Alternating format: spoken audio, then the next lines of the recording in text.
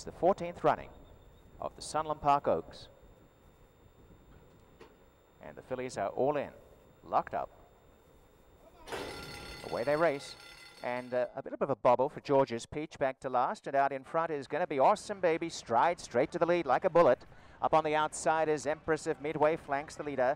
Two lengths away third. Do you know what I mean? Has come away from the inside a bit more. Second last, early lucky for you. And now four lengths away last is George's Peach as they head out the stretch.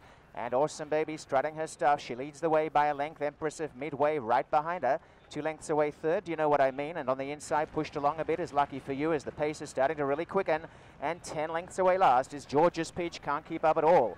Awesome Baby is stringing them out a little bit more. And Awesome Baby by a length in front of Empress of Midway stays right handy. And now two lengths to Do You Know What I Mean and Lucky For You picking up some ground. And a long, long last, George's Peach. They race towards the half mile, an awesome baby in front, slumming along now by three quarters. In second, Empress of Midway's kept absolute target on this leader, but she starts to accelerate. Awesome baby out by a length and a half to Empress of Midway as they swing off the far turn. Back in third, Lucky for You is running on. And on the outside, do you know what I mean? And forget George's Peach, but they're all chasing Awesome Baby. And running on in the center is still Empress of Midway. And on the outside, trying is, do you know what I mean? Lucky for You on the inside. Awesome Baby down to the quarter. A length in front. On the outside, Empress of Midway. Back in third, lucky for you. And on the outside, do you know what I mean? As heads turn for home in the Sunland Park Oaks. And Mike Smith and Awesome Baby have never been troubled. Awesome Baby in front. Lucky for you in second. And on the outside is Empress of Midway. But it's Awesome Baby still in front as they go inside the final furlong. And Awesome Baby just has them on a string. Awesome Baby two and a half clear. And she is so much the best.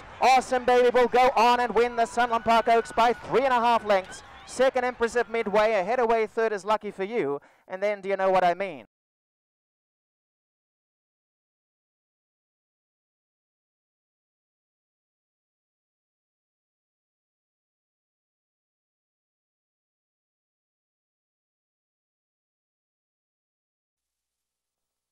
Great to have Mike Smith back in New Mexico and as a winner. Let's go down to Tom Dawson. Here in the winner's circle for the Sunland Park Oaks, winning rider Mike Smith. Well, that's just about how you draw one up, isn't it? Pretty much. Uh, you know, there's more of a headwind down the backside than than, uh, than you would think. Uh, being here in front of the grandstand, you don't feel much wind, but when you get up on the other side, uh, it blows pretty good. So I was proud of her. She got the job done, and it was it was good enough. When you have a horse on the lead like that, uh, would you rather see a headwind down the backstretch or front stretch? Rather, rather not see one. Period. Yeah. To be honest with you, Tom, but uh, I guess the backside wouldn't. You know, it, it depends. You know, it depends. At least uh, once we got out of it, it kind of pushes you, you know, towards the wire, which certainly helped uh, a bit. Uh, you know, believe it or not, it, will push you. It'll push you more than you think. So it, it certainly helped. Was she comfortable pretty much all uh, all the way around? She really was. Uh, kind of scrambled just a little bit leaving there, but got kind of ping-ponged in between the two just for a jump or two. You know, went on to the lead, got into her high cruising speed like she does. Uh, that, that's that's her game, and and she pretty much had had him at bay. She had him at bay. Mike Smith has him at bay. Wins again coming back to Sunland Park for Bob Baffert. Six Oaks in the last eight running.